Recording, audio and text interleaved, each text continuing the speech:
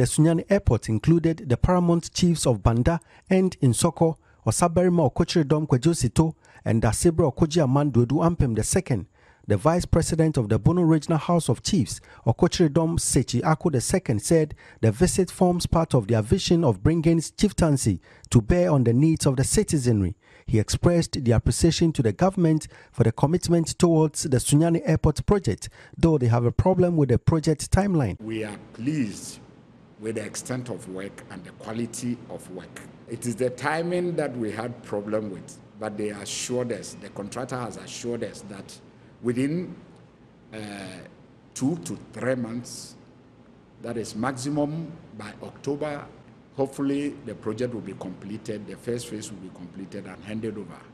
And with the first phase completed, aircrafts can land at the Sunyani airport the encroachment of the airport land by private developers and the risk associated with it remains the contractor's main challenge.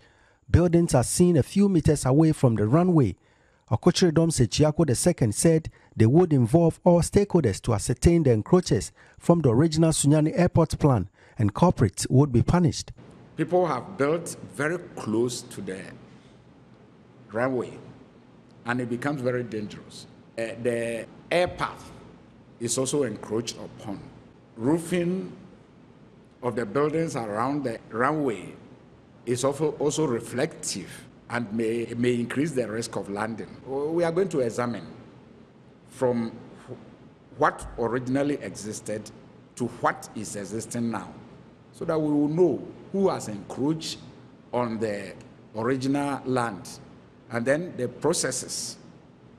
All those uh, authorities that were involved traditional council, assembly, uh, individuals, uh, lands commission.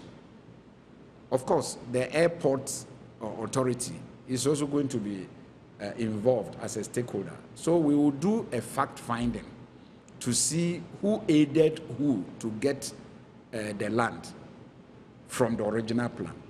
And mm, surely uh, we are going to bring pressure on everybody and punish those corporates uh, found guilty. Some of the buildings may be demolished or their roofing and other things may be adjusted. The Sunyani airport, when completed, will facilitate the movement of businesses and people ready to patronize Sunyani and the Bono region. For Joy News, Precious Semevo, Sunyani. While away from aviation, some environmentalists are advocating the adoption of what they term precision mining system to help promote responsible mining amongst uh, small-scale miners. This system ensures only areas with enough gold to cover expenditure are open for mining, contrary to the indiscriminate digging for gold. The environmentalists are also pushing for the signing of a bond as part of requirements for licensing small-scale miners. Nana Ojima participated in a national multi-stakeholder dialogue on mining